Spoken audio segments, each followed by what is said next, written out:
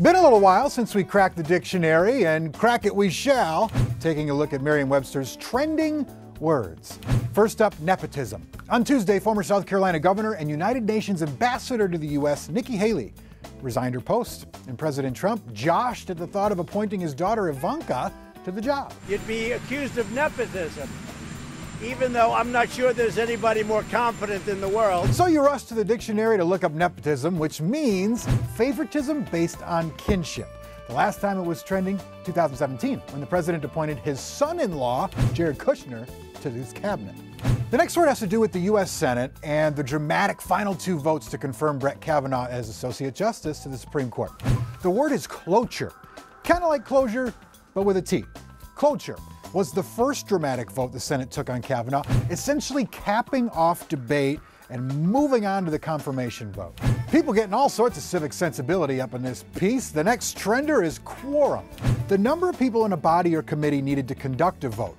Its use legislatively is to make sure that votes don't slip through with one or two people present.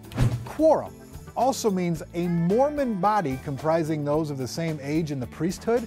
I know, I don't know. I don't know. Now, this word's lookup spiked 47,000% as Dr. Christine Blasey Ford testified to the Senate Judiciary Committee. She said a word I'd never heard before. I don't know if you have. Sequelae.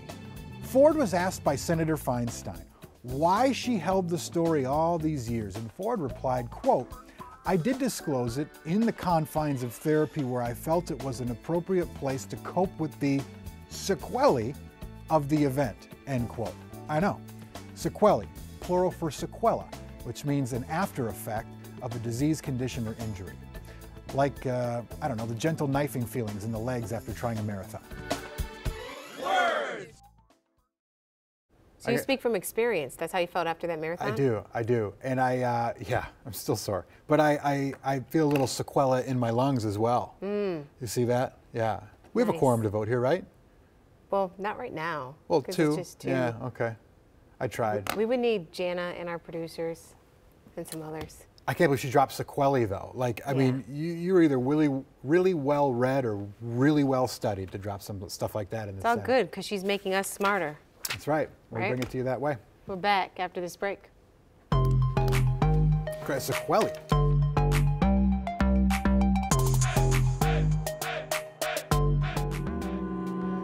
It had seemed like the safest place to hide.